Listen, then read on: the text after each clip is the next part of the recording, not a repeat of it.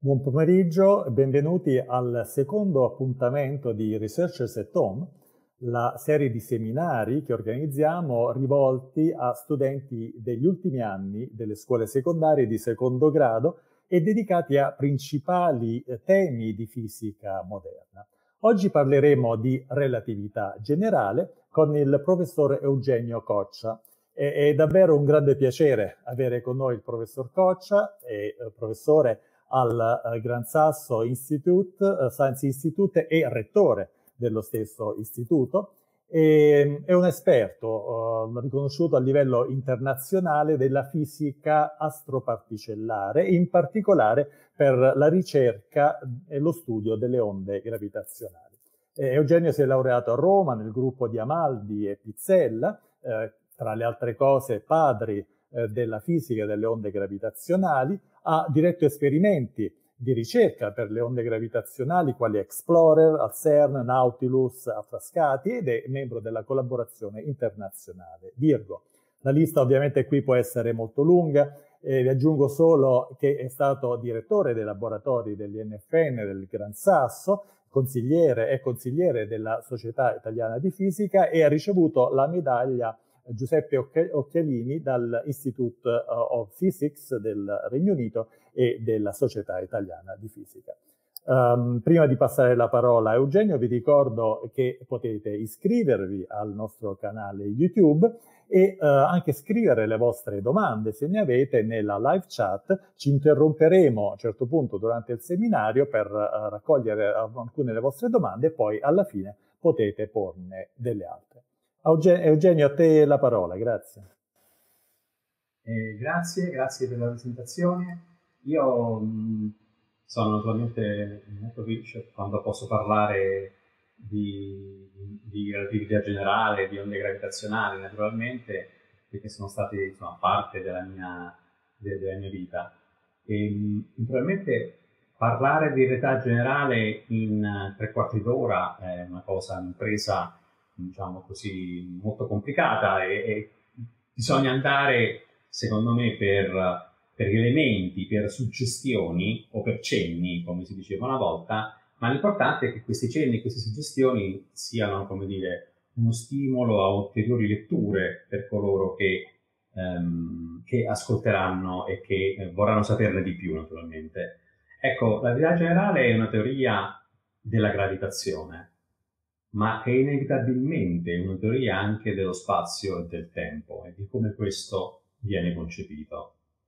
Quindi per parlare di spazio, tempo e gravitazione, io eh, comincerei con l'interpretazione che eh, da Copernico in poi, da Newton in poi, naturalmente Copernico e Galileo sono quei, quei, giganti sulle spalle dei quali Newton si metteva no? per, per, per interpretare le cose Beh, diciamo, è vicino a noi l'esempio del sistema solare, così come lo concepiamo da Copernico in poi, e cioè i pianeti che girano intorno al Sole, la, la Luna che gira intorno alla Terra. Ecco, per capire la rivoluzione che, eh, che, ha compiuto Newton, prima ancora di quella di Einstein, bisogna partire, secondo me, da questo disegno. Questo è un disegno di Newton stesso, perché all'epoca vedete, ehm, i fenomeni terrestri erano ancora separati dai fenomeni celesti. Cioè quello che cadeva a terra, il fatto che una pietra lasciata a sé cascava per terra, che noi siamo punti a terra, questa era, era una certa fenomenologia. Invece gli astri che si muovono nel cielo, i pianeti che ruotavano intorno al Sole, questa era un'altra cosa, diciamo, no? Una cosa molto più regolare, una cosa che eh, da Aristotele si, si considerava quasi di natura divina. Ecco, con questo disegno uh, Newton riporta il cielo sulla terra o, o, o diciamo così uh, generalizza e fa una sintesi dei fenomeni terrestri e dei fenomeni celesti.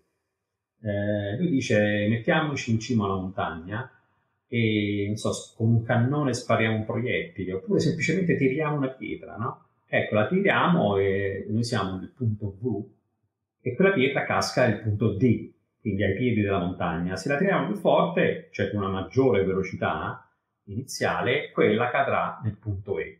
La tiriamo ancora più veloce e cadrà nel punto F.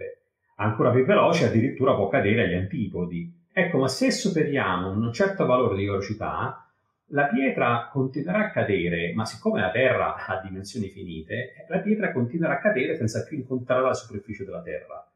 Cioè, come diremmo oggi, entra in orbita. Ecco, ma questo è, questa è la sintesi. Cioè la stessa forza che permette, che, che anzi, come dire, che, che obbliga gli oggetti a cadere a terra, è la stessa che può tenere un altro oggetto in orbita intorno al, al nostro pianeta. Ed ecco la generalizzazione, perché Newton comprende che la Luna cade sulla Terra. Ecco perché gira intorno. Wow, è stato uno sconvolgimento sicuramente iniziale nella formazione del Sistema Solare, ma l'importante è aver capito questo, che la stessa forza che ci tiene per Terra è la stessa che tiene la, la Luna alla Terra. La Luna cade sulla Terra, senza incontrarlo naturalmente, perché la sua orbita è molto più ampia. Ma allora è così che la Terra cade sul Sole. Ecco, questa sintesi dei fenomeni celesti e dei fenomeni terrestri è la grande, eh, la grande io direi, conclusione filosofica della, della, eh, dell'opera di Newton.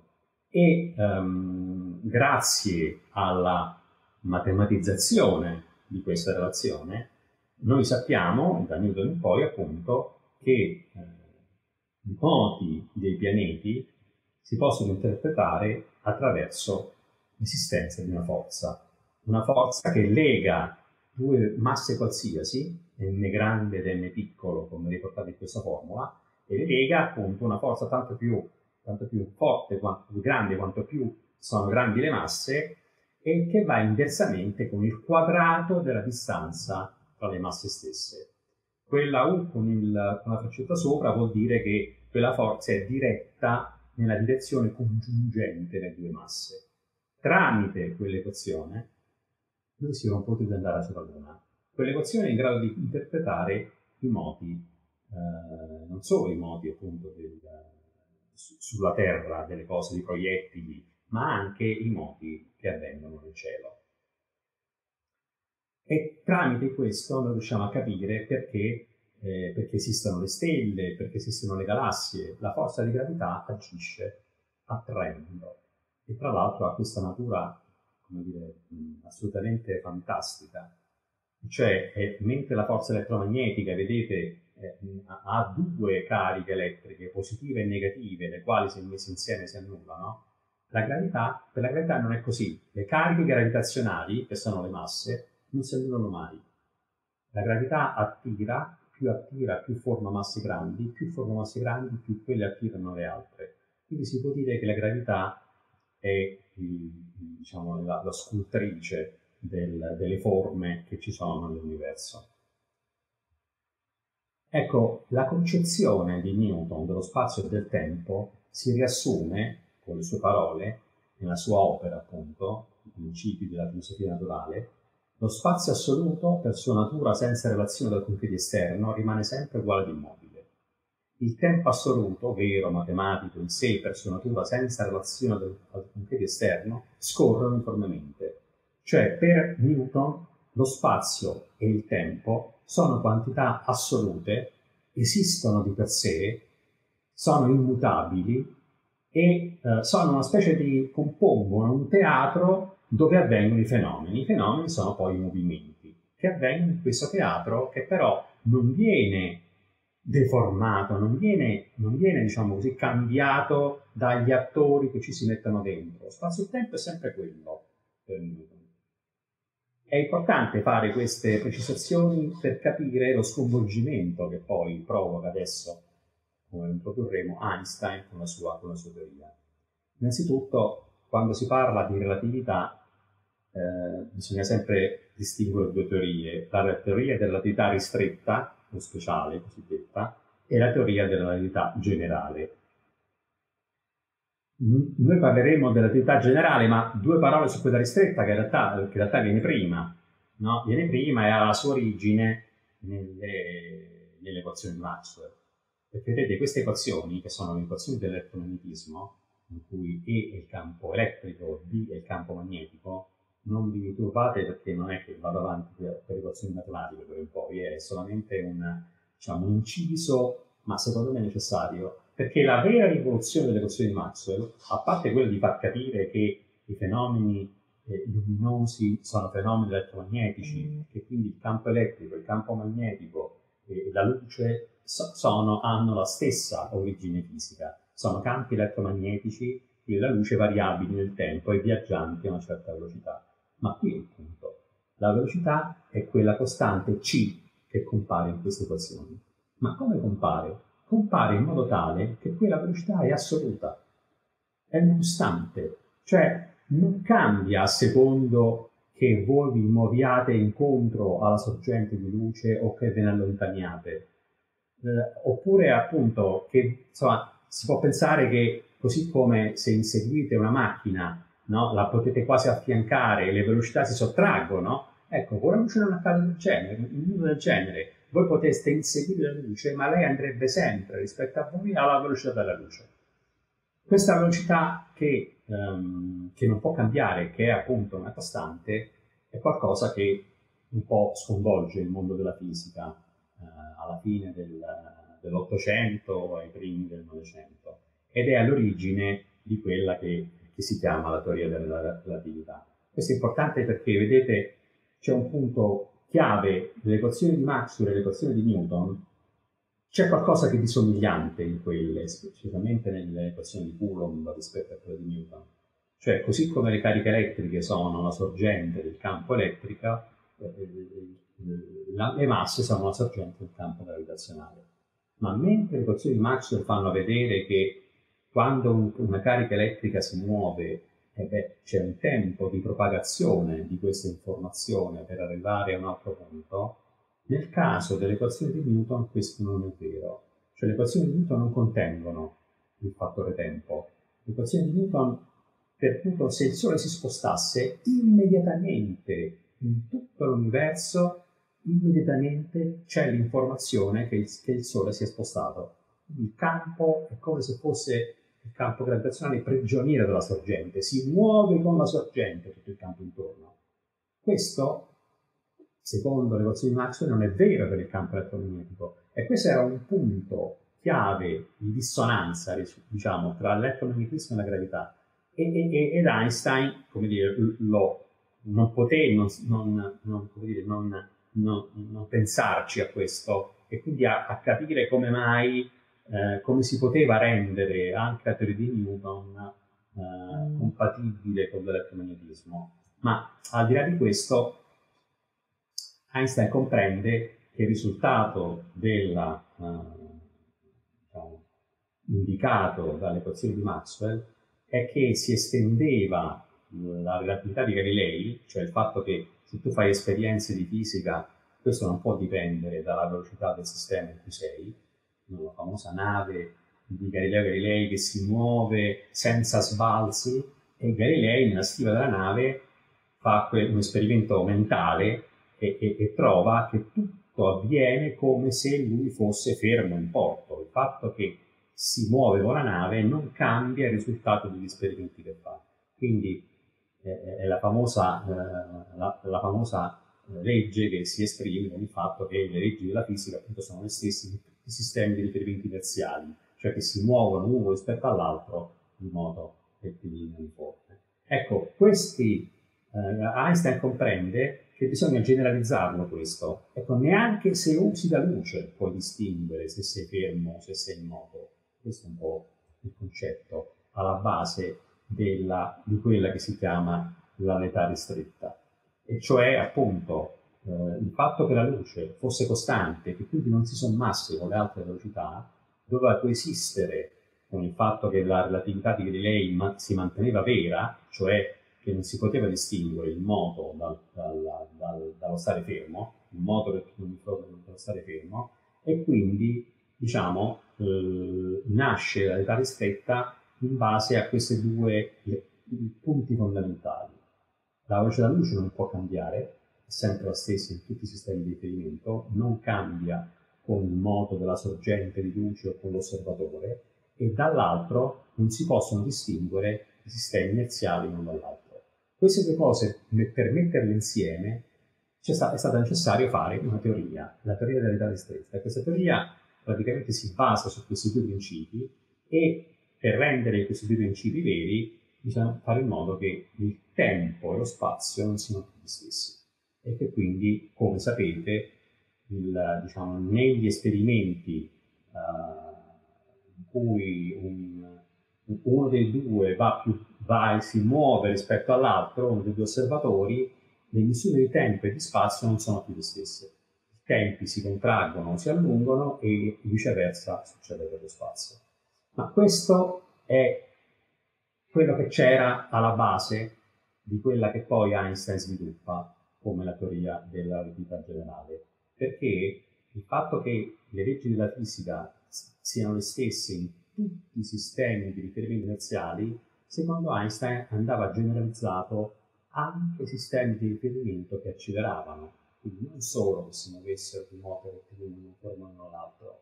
E questa generalizzazione è quella che viene compiuta con la relatività generale. Per fare questa generalizzazione, i concetti di spazio e tempo diventeranno di nuovo dei concetti che cambiano che assumono un altro significato.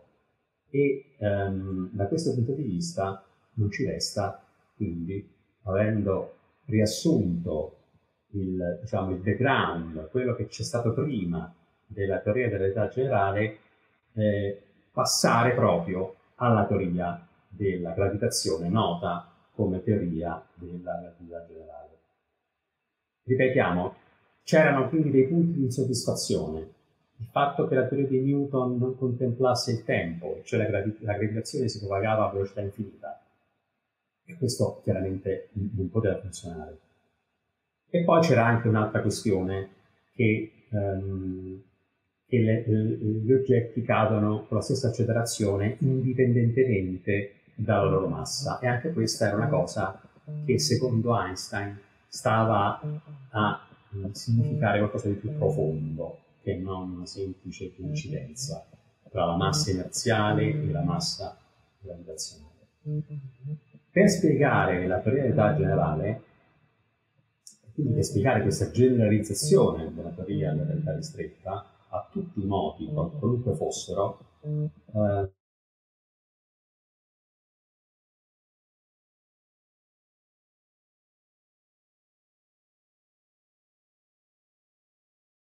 Allora, per comprendere il punto di vista di Einstein e la vera differenza rispetto a quello di, di Newton, io faccio sempre questo esempio, che è molto semplice, ma che va al cuore del, del, del problema. Immaginiamo due fisici, che sono quei due pupazzetti, che pensano di vivere in un piano, in un mondo completamente piatto, in due dimensioni. Allora, loro decidono di fare un esperimento conoscono la geometria, che per definizione è la geometria euclidea, e ehm, decidono di andare, diciamo, dritti al naso nella direzione perpendicolare a quella che li unisce tra di loro e di procedere alla stessa velocità. Naturalmente si aspettano di andare lungo linee parallele, quindi si aspettano, rimisurando la distanza fra di loro, di trovare sempre la stessa distanza. Fanno l'esperimento e invece si avvicinano. Questo è inaspettato, non capiscono perché succeda, però rifanno tante volte l'esperimento e, non c'è dubbio. Diciamo che queste linee, anziché essere parallele, all'improvviso si, si uniscono. Come interpretano questo fenomeno? Ecco, lo possono interpretare in due modi, alla Newton o appunto alla Einstein. Interpretarlo alla Newton vuol dire che possono supporre l'esistenza di una forza, possono concludere quando procediamo in quella direzione evidentemente c'è una forza che ci attira, per cui dopo un po' eh, vediamo che ci avviciniamo. Quindi non discutono il fatto che la loro geometria è una geometria bidimensionale, piatta e plidea, devono introdurre una forza per spiegare perché si avvicinano. Il punto di vista di Einstein invece è diverso.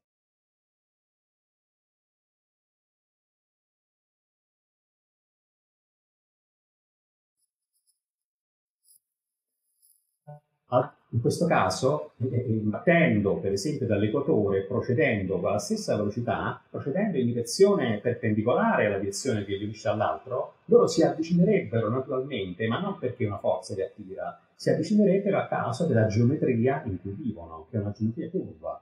Quindi stanno seguendo due meridiani e chiaramente si incontrano nel polo. Ecco, il punto di vista di Einstein quindi è che in realtà se si introduce una geometria diversa, una geometria curva, appunto, anziché quella piana, una geometria non euclidea, quindi, non c'è più bisogno di introdurre una forza, ma che, gli effetti che si vedono sono una conseguenza della geometria in cui si vive. In realtà ci si muove liberi, ma in una geometria diversa da quella a cui si pensava. Ecco, quindi che cos'è la gravità? La gravità, secondo questa teoria, è una manifestazione della curvatura dello spazio-tempo. Vale a dire, lo spazio-tempo, secondo Newton, è uno spazio-tempo piatto. Piatto vuol dire che se voi avete due puntatori laser e li mettete paralleli, la, le due raggi di luce andranno sempre paralleli tra di loro. Questo vuol dire che lo mm. spazio, diciamo, anche tridimensionale è piatto. Chiaramente rappresentandolo conviene rappresentare in un piano perché si visualizza lo visualizziamo meglio. Allora, lo spazio-tempo è, eh, è quello euclideo, secondo Newton. Se voi avete una massa, avete il Sole per esempio, lo spazio continua a essere euclideo, la massa introduce un campo gravitazionale, un campo di forze, e il campo di forze spiega perché le masse si attirano fra di loro e perché la Terra gira intorno al Sole. Secondo Newton, secondo Einstein invece, non è vero che la geometria rimane euclidea. La presenza di quella massa deforma lo spazio-tempo. È quella deformazione che si eh, evidenzia con la Terra che gira intorno al Sole, che fa un, questo, questa orbita ellittica, ma in realtà la Terra è libera da ogni forza, è solo costretta a muoversi su quell'orbita dalla deformazione spazio-temporale introdotta dalla presenza del Sole. È un punto di vista, come vedete, completamente diverso. E l'equazione di Einstein, che eh, diciamo, ci possiamo mettere a scrivere con tutte le sue gli orpelli matematici, ma che nella forma più semplice si può scrivere in questo modo. A sinistra quel tensore, quella, quella grandezza G grande, esprime la geometria dello spazio-tempo. Se la geometria è quella euclidea, perché non ci sono masse, non c'è una sorgente di deformazione, quella geometria è una matrice con, tutto, con tutti 1 in diagonale, diciamo vale 1 in qualche modo. A destra voi avete invece una costante, 8 pi greco G, la costante di gravitazione, C, che è la luce della luce, per quell'altro, quell'altro oggetto, quell'altro tensore, che esprime la presenza di materia ed energia. Ecco, se non c'è materia d'energia, come ho detto, G è una matrice molto semplice, è quella unitaria. Ma se c'è invece presenza di materia ed energia, allora la geometria si deforma, non è più quella piana. La, simbolo più straordinario di questa equazione è il segno di uguale, cioè il fatto che la geometria spazio-temporale, che detta ai corpi come muoversi, sia dovuta alla presenza di materia ed energia che c'è dall'altra parte, questa è la grande, è la grande, diciamo così, la grande, la grande conclusione di un cammino concettuale che Einstein, che Einstein fece.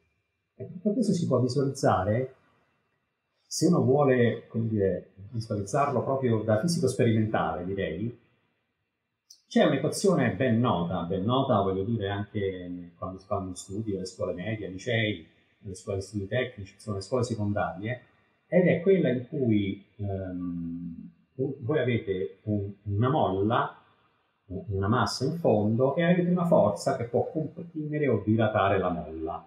Ecco, se voi comprimete la molla con una forza F, vedete dall'espressione, da questa equazione, F uguale meno kx, cioè x è la compressione che state esercitando ed F è la forza il segno meno è perché la forza reagisce alla compressione, quindi andando in, sen- in senso opposto rispetto alla direzione mm. che voi avete voluto intraprendere con, premendo la molla, K è la costante elastica della molla che vi dice quanto quella molla è rigida.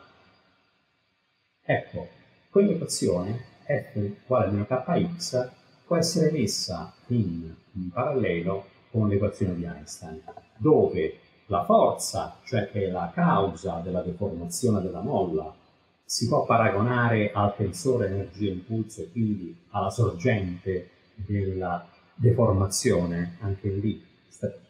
I è la deformazione spazio-temporale e F è la sorgente della deformazione invece della molla. X non è altro che la geometria, in quel caso è una geometria semplicissima, è una geometria lineare, X è lo spostamento che voi state introducendo. Ecco, la geometria è invece l'equazione di Einstein quella, quella cosa più complicata, G grande.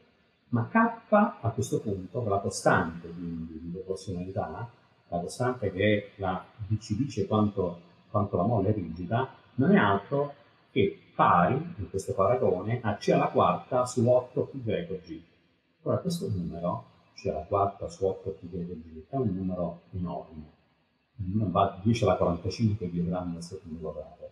Non esiste niente di così rigido in natura, tranne lo spazio-tempo. Questo sta a indicare, il paragone di queste equazioni, che lo spazio è rigidissimo, è difficilissimo deformare lo spazio-tempo. È come se lo spazio-tempo fosse una molla diffusa, ma estremamente rigida. E questo spiega perché ci vogliono masse enormi per poter visualizzare eh, queste deformazioni. Ci vuole il Sole per visualizzare la deformazione. Come la si visualizza? la deformazione dello spazio-tempo imposta dal Sole, ma si visualizzava perché i pianeti, anziché andarsene dritti per la tangente per conto loro, sono costretti a muoversi intorno a lui. Ecco, ci vogliono masse astronomiche per rendere evidenti questi, mm. questi effetti. E proprio questo sta alla base della prima verifica sperimentale della teoria dell'unità generale, che è quella che eh, compiuta da uh, Eddington, da Arthur Eddington. Eh, come sapete, questo è un esperimento, c'è anche un film su questo, un esperimento famosissimo. E in sostanza il concetto è questo: una stella eh, manda ovviamente manda luce, questo raggio di luce della stella, se, se la stella um, se, non ci fosse una sorgente come il Sole di deformazione dello spazio intorno a sé, questa, questa, questa, questo raggio di luce se ne andrebbe dritto. Ecco, invece a causa del Sole questo raggio di luce curva intorno al Sole e viene visto dalla Terra come se puntasse a una stella che sta in posizione differente rispetto a quella vera, proprio perché la luce ha curvato e noi la vediamo venire da una direzione diversa da quella invece della stella vera. Ecco, questo effetto eh, fu visualizzato durante un'eclisse. Ci vuole l'eclisse perché ognuno deve stare davanti al Sole in modo che possiamo vedere le stelle dietro al Sole, che altrimenti non riusciamo a vedere il giorno. Ecco, allora le stelle intorno, dietro al Sole effettivamente si spostavano, cioè erano in una posizione diversa da quella in cui erano durante le, tutte le altre notti. Quindi è vero che il Sole deformava il cammino di questi raggi di luce. Questo esperimento famosissimo, questo è un estratto del New York Times del 10 novembre 1919, in cui c'è scritto appunto che tutti gli anni di scienza sono stati fatti dai risultati delle eclissi, che le luci si, si, si muovono nel cielo, che la teoria di Einstein trionfa, che le stelle non stanno dove sembrano, dove sono calcolate essere, ma nessuno deve allarmarsi. Ecco, questo è l'esperimento che diede mm. Einstein una eh, notorietà planetaria e che diede alla sua teoria una enorme, un'enorme notorietà. Ora, diciamo, come ci è arrivato Einstein a concepire il fatto che la gravità potesse essere una manifestazione della curvatura dello spazio-tempo? E quindi che poi, diciamo, non abbiamo il tempo di illustrarlo, ma questa teoria che poi generalizza la realtà ristretta a tutti i tipi di moti, anche i moti accelerati, anche alle cadute libere, tutto quanto. E quindi ci arrivò al fatto che la gravità deformava lo spazio-tempo, al fatto che la materia rappresenta il materia di Virginia, eh, ci arrivò tramite la lettura di una notizia sul giornale. Questo lo riporta voi. Lui lesse di eh, un uomo che era caduto dal tetto, eh, penso che dipingesse il tetto, e gli fece questa osservazione mentale, no? Ma l'uomo mentre cadeva, eh, mentre cadeva, so, il pennello, gli oggetti che aveva in sé, andavano, andavano in caduta libera insieme a lui. Cioè in quel momento per lui era in un perfetto sistema di riferimento inerziale come se avesse annullato il campo gravitazionale. Questa osservazione lo fece, gli fece molto riflettere e lui arrivò al fatto che la gravità è equivalente a un moto accelerato e che cadere liberamente in un campo gravitazionale è lo stesso che mm. essere nello spazio libero lontano da ogni campo gravitazionale. Questo che si chiama il principio di equivalenza e che lui ha, ha chiamato l'idea più felice della mia vita, è quella in cui, in questi disegnetti che ho fatto io, quindi scusate se un po' sono un po' sempliciotti, ma nel primo disegno giallo, vedete, c'è un uomo che, um, che, fluttua nello spazio vuoto, lontano da ogni campo gravitazionale, quindi non c'è gravità, lui sta nello spazio e tutti gli oggetti lì dove li metti stanno, diciamo così, no? Questa situazione è equivalente a quella che si avrebbe nell'altro riquadro giallo, e cioè come se questa navicella in realtà precipitasse in un campo gravitazionale. Avrebbe gli stessi effetti, cioè tutto fluttuerebbe nell'aria esattamente allo stesso modo. Quindi essere in caduta libera è equivalente a essere in uno spazio lontano da ogni campo gravitazionale. E gli altri due riquadri, questi di Fuxia, anche esprimono un'equivalenza. Cioè lui dice, se noi siamo fermi a terra, eh, gli oggetti cadono giù e tutto è, tenu- è trattenuto sul pavimento, noi stessi. Ma questa situazione è la stessa che si avrebbe se io fossi in una navicella che è tirata da un razzo che accelera con un'accelerazione G. Avrei gli stessi effetti. Ecco, questo vuol dire che se io guardo una scena di un, di un, di un, eh, di un altro di un nostro amico mm. che sta precipitando in un ascensore con le pareti di vetro, così che posso, posso vederlo, no? Noi siamo fermi a terra, in un campo gravitazionale, e lui sta precipitando liberamente. Lui, mentre precipita liberamente, fa un esperimento, ha un puntatore laser diciamo, lo punta davanti a sé e vedete la luce fa un tragitto rettilineo e naturalmente lui vede il puntino luminoso fermo davanti a sé mentre precipita. Questo perché è un sistema di corrente inerziale e quindi tutto avviene come se fosse fermo, non c'è una differenza. Ma noi che guardiamo la scena al di fuori, che siamo in un campo gravitazionale, noi vediamo che, che l'oggetto precipita, quindi sta accelerando, e il, il, raggio di luce che lui emette, quindi non, è, non, è, non, fa, non fa una linea dritta orizzontale, ma naturalmente va giù, ma va giù non linearmente, va giù accelerando e quindi fa un arco di parabola, cioè curva. Cioè per me la luce, il raggio di luce non va dritto, ma per me il raggio di luce sta, sta curvando ma il raggio di luce di Paolo Stacci che lo definisce la, diciamo così, la linea più breve tra due punti.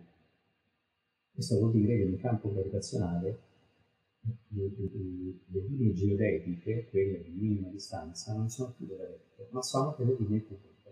Ecco, è da questi esperimenti mentali, Vedantian Experiment, si dice in tedesco, così si chiamava lui, da allora poi è diventato classico, ecco, questo esperimento. Questa considerazione è quella che mi fece capire come la gravità poteva essere vista come una deformazione dello spazio-tempo, qualcosa che faceva curvare la luce e faceva curvare naturalmente anche le altre masse, faceva curvare la Terra intorno, intorno al Sole.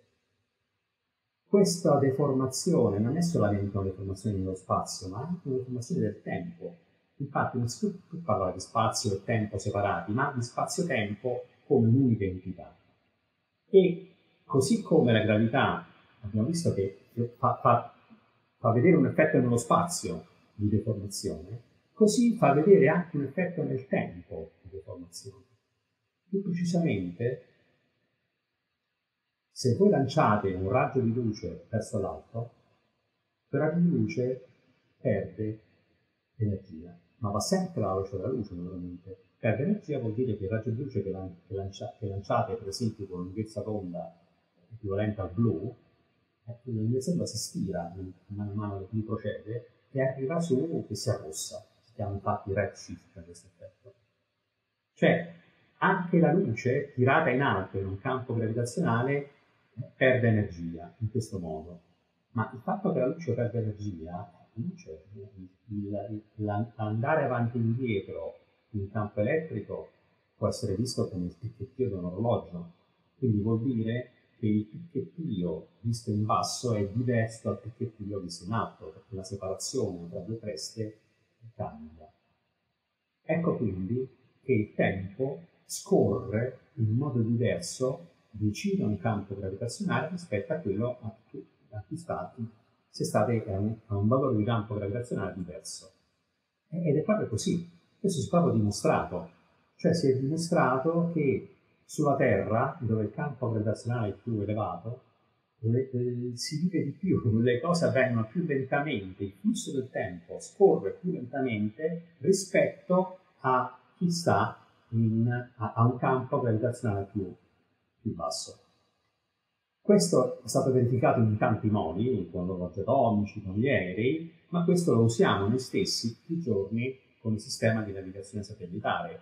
Infatti i satelliti che stanno in alto e che una triangolazione di segnali elettromagnetici definiscono la nostra posizione sulla, sulla, strada, tanto che ci dicono appunto nel navigatore a che mm. punto siamo di, di, di, di una certa mappa, loro devono correggere le, le, misure che fanno dell'effetto di relatività generale perché il tempo lassù scorre diversamente dal tempo che giù da noi e devono introdurla questa correzione, che è una correzione di relatività generale, altrimenti anziché spiazzarci, farci vedere nella strada in cui siamo, ci farebbero vedere a centinaia di metri o addirittura a chilometri di distanza. Quindi noi usiamo la relatività generale tutti i giorni, anche se magari non ce ne rendiamo conto. Cioè funziona, funziona così, funziona effettivamente in questo modo. La realtà generale quindi ci insegna che a differenza di quanto accadeva nella fisica classica, in fondo guardate anche nella vita speciale, perché la speciale a che fare solo con le velocità relative costanti, non ha a che fare con le accelerazioni. Quindi non, ha, non, si, è, non si, pone il problema di campi gravitazionali e di deformazioni, va bene? Ecco, lo spazio e il tempo non sono più semplici contenitori per i fenomeni della natura, per i movimenti, ma sono parte della natura stessa e intervengono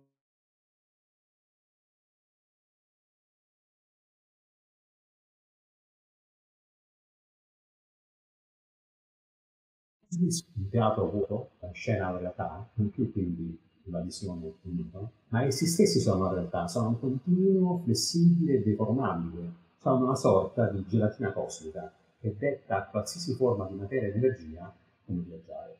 L'equazione di Einstein, da cui siamo partiti, si rivela quindi una miniera d'oro, ma questa miniera sono state estratte nel tempo pietre preziose, come i delfinei, come le onde gravitazionali, come l'universo in espansione, tutte eh, previsioni che si sono poi effettivamente verificate.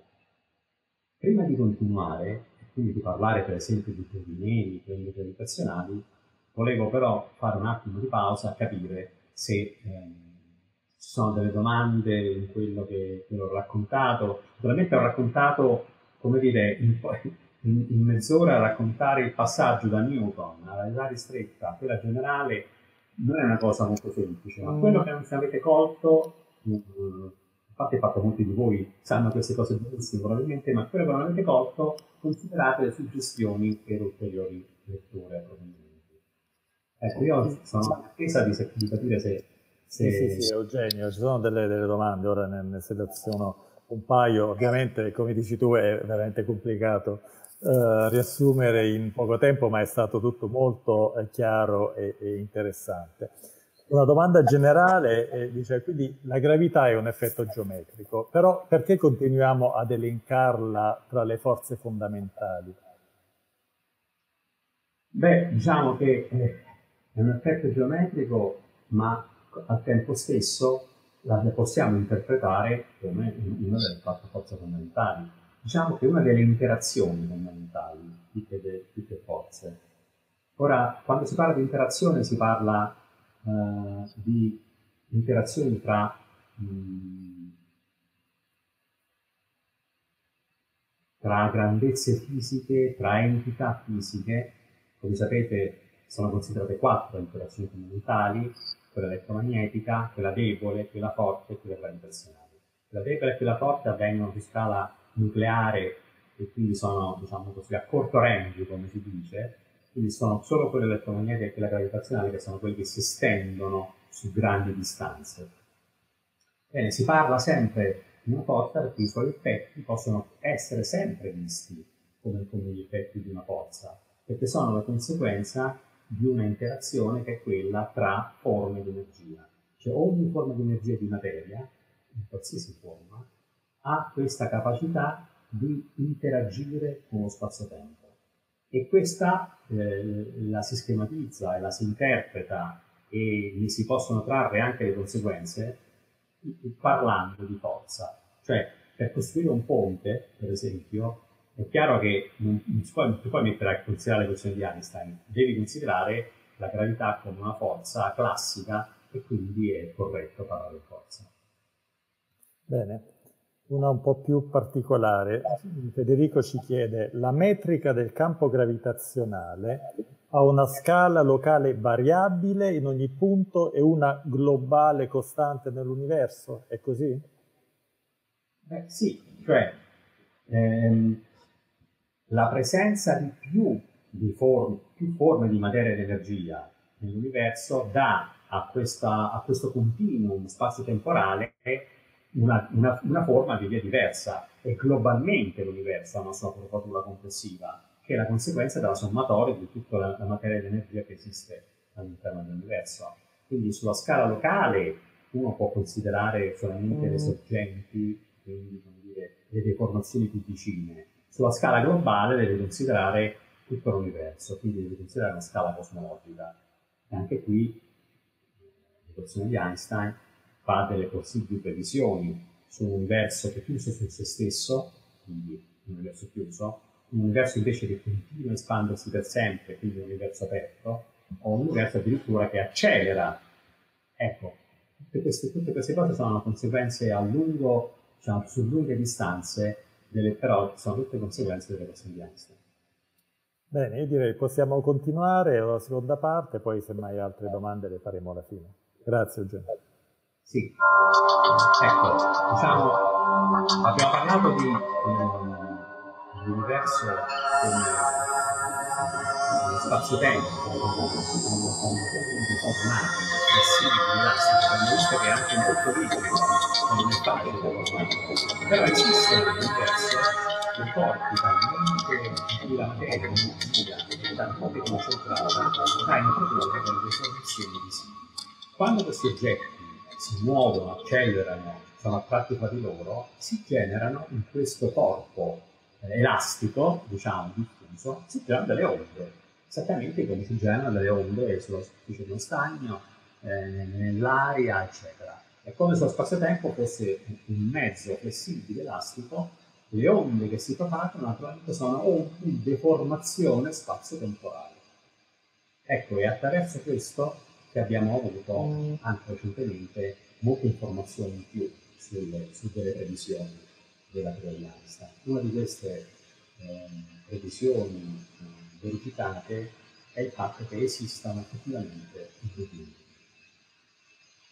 Ora, per spiegare l'esistenza dei protini si può fare anche classicamente, anche la teoria di Newton può prevedere quelle che si chiamano stelle scure. Ora qui diciamo, se volete, questa qui è piena di equazioni, ma sono equazioni semplici. Essenzialmente sta a dire che qualsiasi pianeta ha una velocità limite se raggiungete la quale riuscite a scappare dal pianeta. Questo perché per ogni corpo, in massa m piccolo, per esempio, che ha sulla superficie di un pianeta m grande, e voi avete che lui è trattenuto sulla Terra dalla, dalla gravità del, di quell'oggetto ma se voi lo lanciate in maniera tale che la sua energia cinetica supera l'energia potenziale dovuta all'attrazione gravitazionale, se l'energia cinetica è superiore, lui lascerà quel pianeta e non ci tornerà più sopra.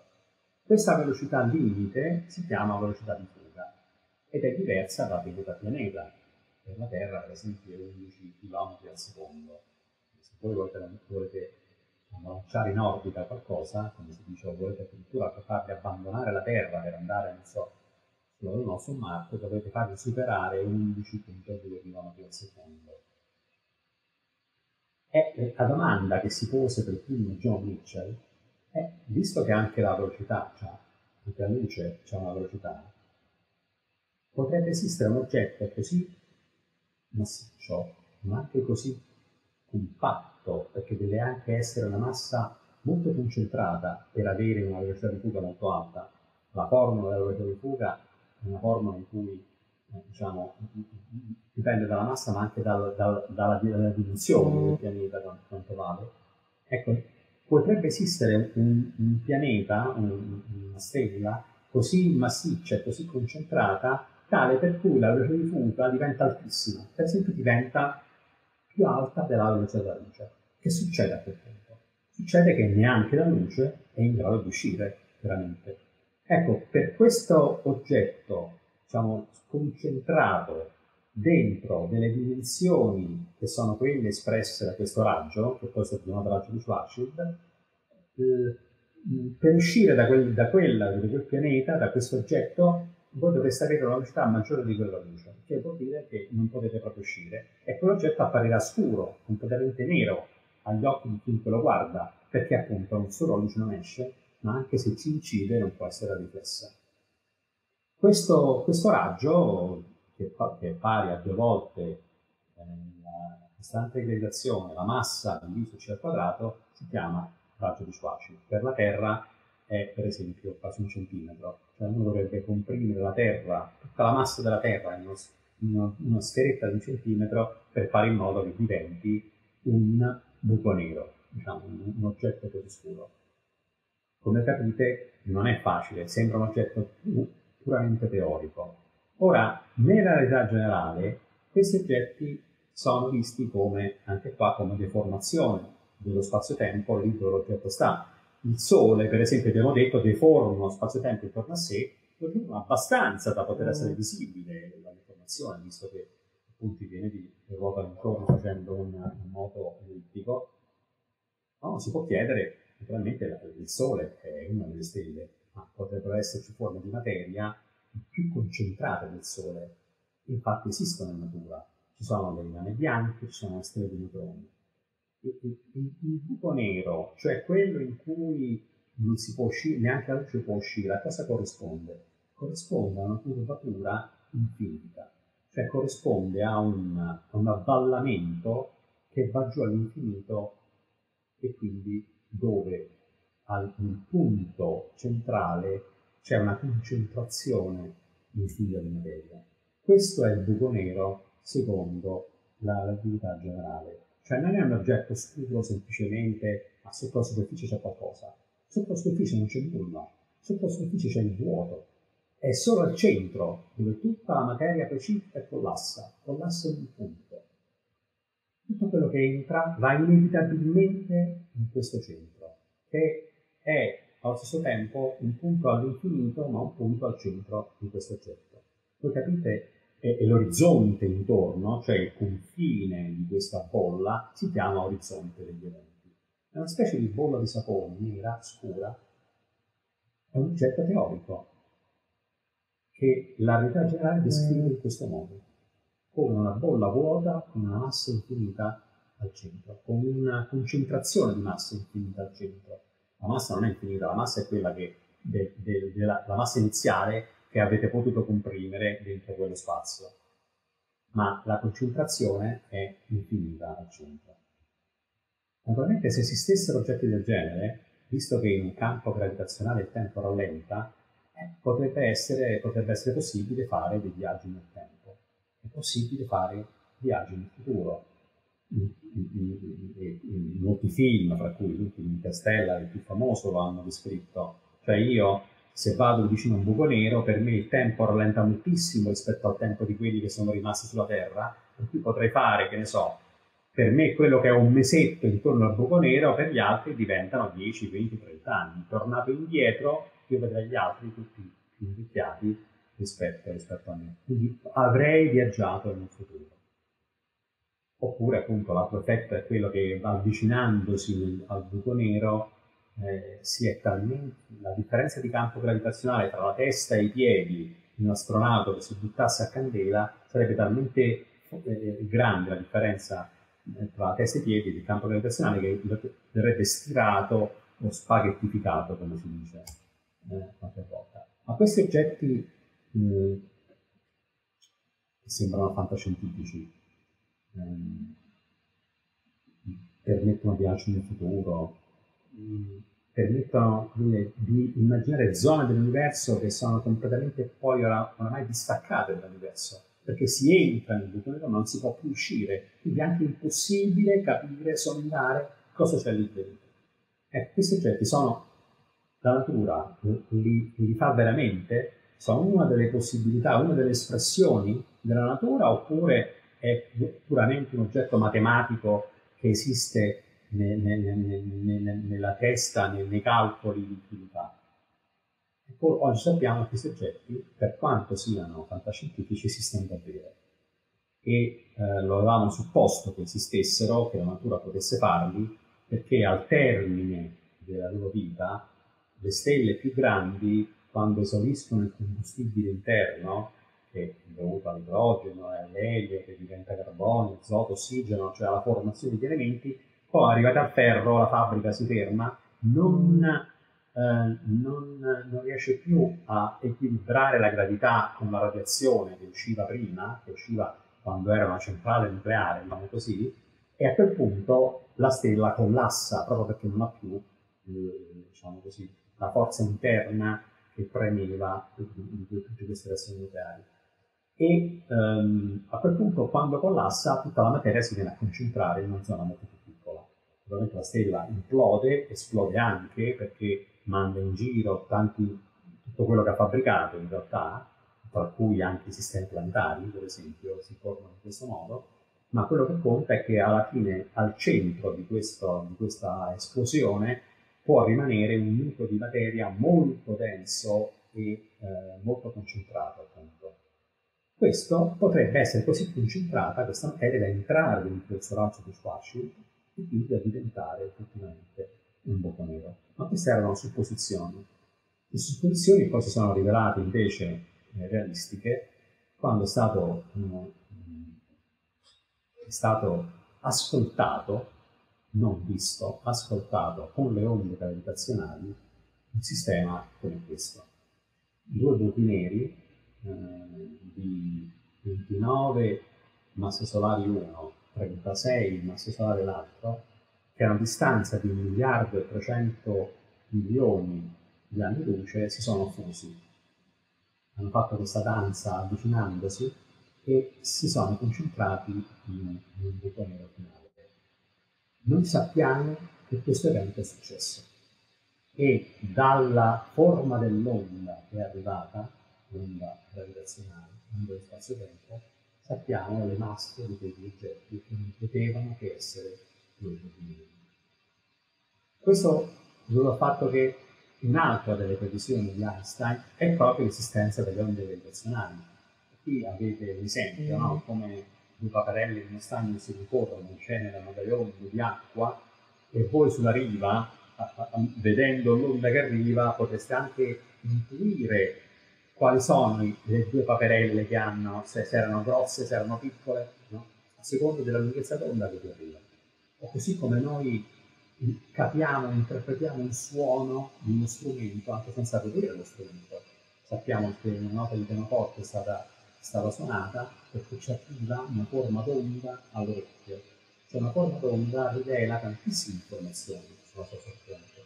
Ecco, queste onde gravitazionali, onde di spazio-tempo, rivelano molto delle, degli strumenti che hanno generato, delle sorgenti che hanno generato.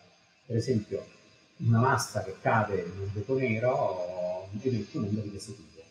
un'onda sinusoidale che però a man mano che si avvicina al centro aumenta sia di ampiezza che di frequenza finché poi ci cade dentro. Queste forme d'onda che si chiamano ciletto perché viste come un suono fanno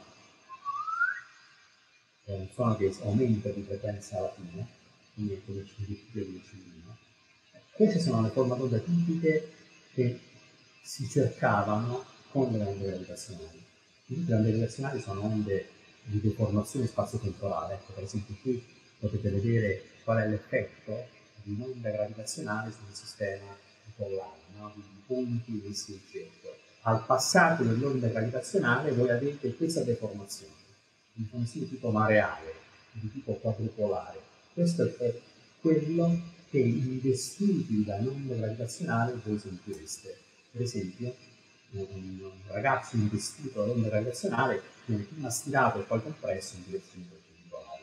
Questo è l'effetto che uno vuole misurare per capire che è arrivata un'onda gravitazionale, per capire che una sorgente lassù in cielo chissà dove ha, ha generato questa, questa, onda, questa gelatina cosmica. Naturalmente questo non è facile perché queste onde sono piccolissime, sono piccolissime di altezza. Mm. Eh, una, un ordine di grandezza ragionevole per le sorgenti che si puntava, quindi si, si deve misurare 10 almeno 18 metri. Che vuol dire due punti a un metro di distanza devono cambiare di un miliardesimo di un miliardesimo di metro. Questo vuol dire 118. Un miliardesimo di un miliardesimo di metro. È una cosa talmente piccola che tante volte eh, si è considerato un'illusione poter, poter, arrivare a misurarla. E questo ci dice quanto un miliardesimo di miliardesimo di metro è più piccolo di un capello, di un, di un diametro atomico, addirittura è più piccolo di un nucleo atomico. Il primo che ha, si è messo in testa di poter vedere le onde gravitazionali è questo, questo signore, che ha pensato che queste sono onde e se io realizzo un diapason molto sensibile, al passaggio dell'onda il diapason può suonare. Ecco, poi questi diapason sono diventati più sofisticati, devo far vedere questa trasparenza, questa, questa, questa immagine, perché vedete in basso a sinistra c'è Nautilus, che per tanti anni è stato in funzione ai laboratori nazionali di Foscari, è stata l'antenna più sensibile del mondo per tanti anni, e poi vedete anche le altre, qui vedete anche Edoardo Nandi in una foto storica, eh, l'altra è un'antenna Riga che era il laboratorio di Mignaro, eh, vedete Massimo Centoni, vedete altri colleghi eh, che hanno lavorato nel campo per tanti anni. Ma non è con questi diapason che siamo riusciti a vedere le onde gravitazionali. Abbiamo dovuto sviluppare strumenti più sensibili. Questi strumenti sono stati grandi interferometri laser. Con i grandi interferometri laser ci, si è riusciti finalmente gli interferometri hanno una base di parecchi chilometri di, di distanza tra gli specchi e vale la pena, qui vedete raffigurati i padri, diciamo così, degli interferometri americani, l'Algo, e dell'interferometro italiano, quello che è a Pisa. Nel riquadro vedete ad Alberto Giazzotto, mm. il padre di Diego, insieme ad Alain Brier, il collega francese che è autore con lui, diciamo così, uno dei due, dei due genitori di questo, di questo, progetto. Ecco, vale la pena anche introdurre un elemento, abbiamo parlato tanto di concetti, di spazio, di tempo, no? ma alla fine eh, queste misure si fanno con, con, con, oggetti veri, concreti, che pesano, eh, specchi, pezzi di ferro, voglio dire, no? Ecco, come si è riusciti a misurare l'arrivo di un'onda che ha dato una perturbazione di un miliardesimo di miliardesimo di metro. Si è riusciti con un, un sistema, che è un interferometro laser, che qui faccio vedere in, in, in via di principio come, come funziona. Il cilindro è il laser, quello spara la luce contro uno specchio che vedete messo di, di, di profilo, quello è uno specchio semidiflettente, quindi una parte viene mandata in una direzione e l'altra viene trasmessa in direzione perpendicolare. Facciamolo andare. Eccolo, viene divisa in due la luce, viene riflessa dai due specchi e poi va a quel quadrato a destra che è il rivelatore di luce. Allora, seguiamo proprio cosa succederebbe. Il fascio laser, vedete, si divide in due grazie a quello specchio semiriflettente, arriva al, al limite dei bracci, che sono a distanza di chilometri di distanza, e sottovuoto naturalmente, mm. Quei due, quei due, eh, quei due eh, fasci si ricompongono e una parte di loro va al rivelatore. Vedete, in questo momento va al rivelatore in opposizione di fase, no? in maniera tale da dare, da dare buio sul rivelatore. Ma se arriva un'onda gravitazionale, se arriva l'onda gravitazionale, quello che succede è che i due specchi si muovono e si muovono secondo un, un andamento perpendicolare uno all'altro, mareale come si dice, per cui quello che io ho è che l'interferenza sul rivelatore cambia, perché mentre prima le creste arrivavano in contrapposizione, poi la cosa cambia, come vedete adesso da questo disegno qui, queste animazioni che lasciamo andare. Questo momento sono in posizione di fase sul regolatore, quindi voi avreste il buio, ma se arriva l'onda gravitazionale, vedete uno specchio si allontana, l'altro si avvicina, ecco che automaticamente l'interferenza cambia, le due onde arrivano in fase e controfase. E questa frequenza di eh, variazione dell'intensità è la frequenza dell'onda gravitazionale. E l'intensità è proporzionale all'ampiezza dell'onda gravitazionale. Ecco come si è riusciti a misurarla.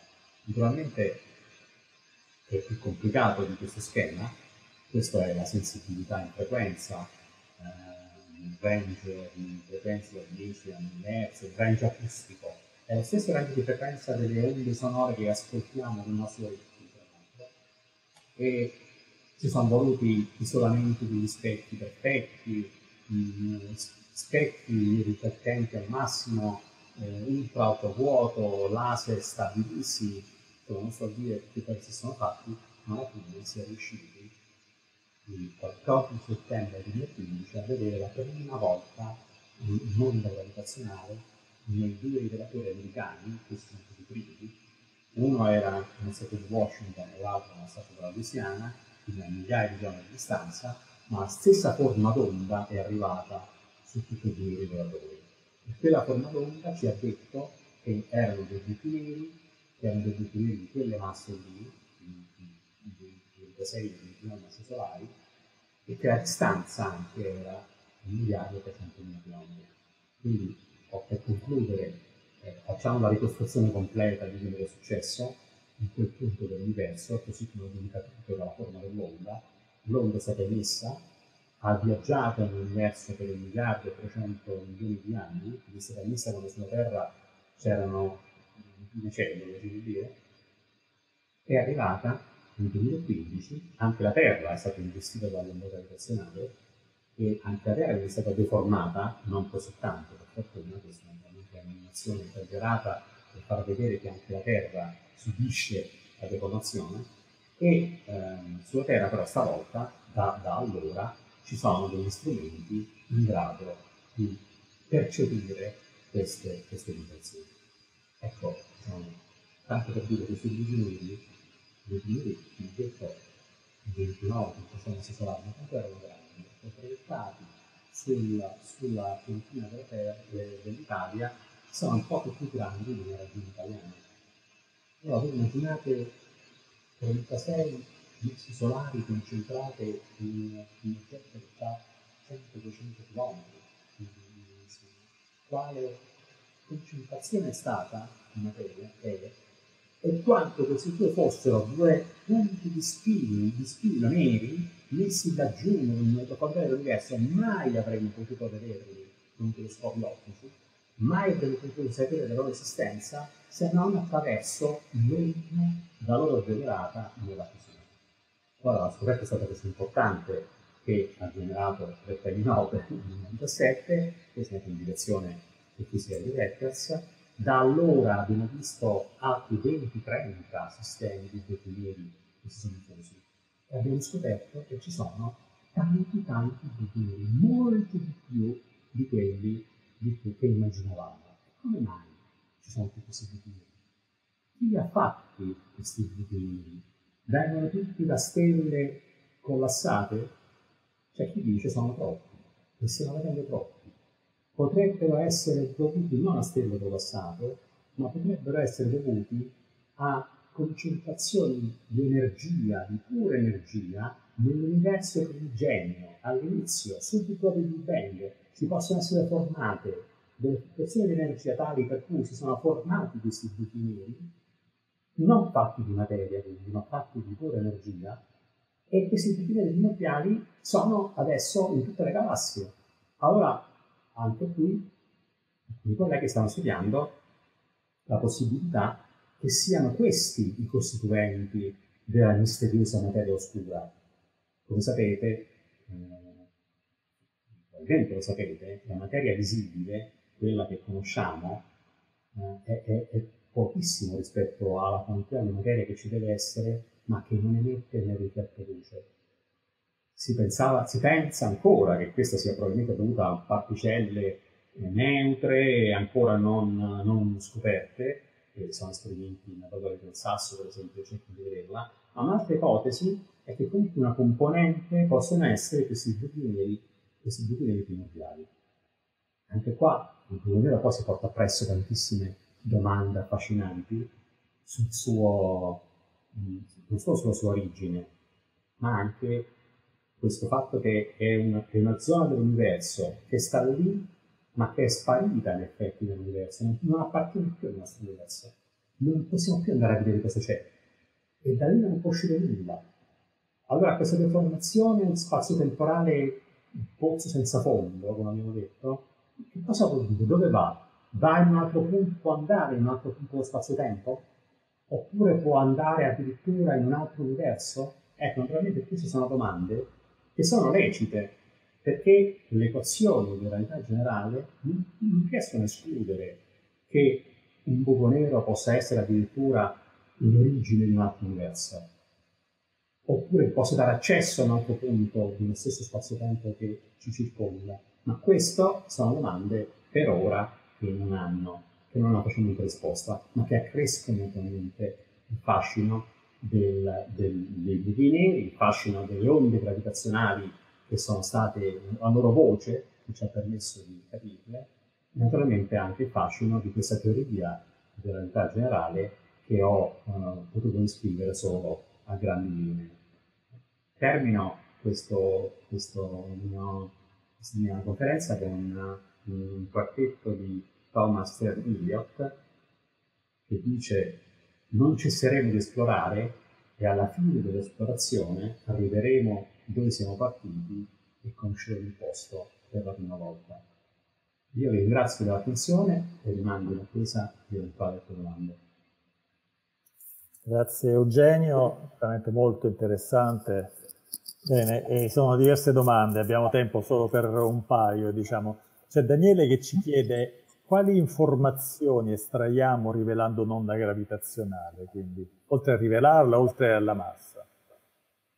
Ecco, questo è molto, molto interessante perché trovo che molta gente si stupisca quando gli diciamo che l'onda gravitazionale ci dà le masse degli oggetti, la loro frequenza ci dice a che, a che punto è avvenuta la fusione. Quindi è chiaro che la, se la fusione è avvenuta a una distanza tale da essere molto piccola, quella massa è compatibile solo con, con un buco nero. Per di più, siccome non vediamo segnali di luce che provengono da queste fusioni, questo supporta ancora di più il fatto che siano dei buchi Tant'è che in un'occasione il segnale gravitazionale è stato dovuto a due serie di neutroni, non neri, e lì è stata vista una controparte elettromagnetica fantastica.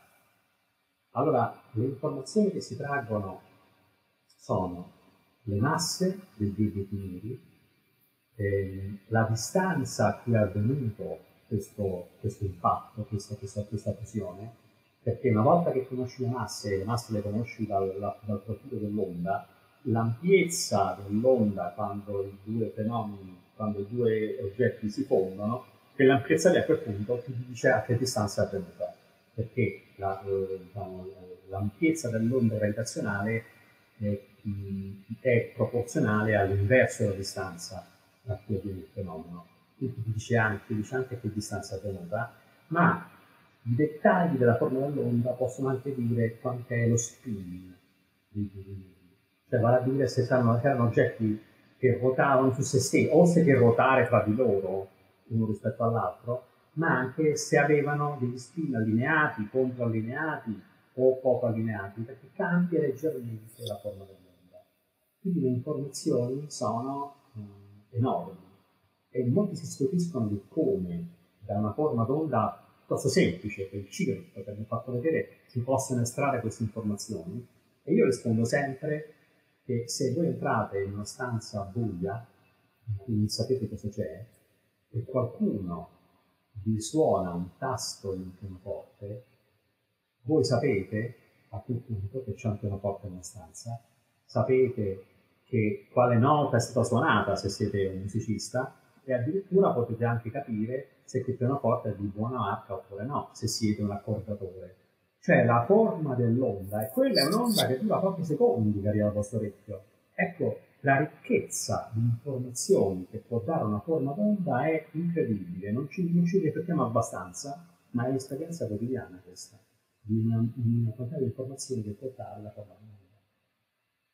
Senti, un'ultima domanda, ma le cariche gravitazionali sono sempre attrattive? Tipo, qual è la relazione tra materia e antimateria nel settore gravitazionale? Allora, la gravità è sempre attrattiva e la gravità che genera l'antimateria è la stessa della materia. Quindi l'antimateria è un nome che abbiamo dato a eh, delle particelle che hanno carica opposta rispetto a quelle della materia. Ma si parla di carica elettrica, si parla di cariche di altro tipo, ma certamente non gravitazionali. La carica gravitazionale è solo e sempre attrattiva.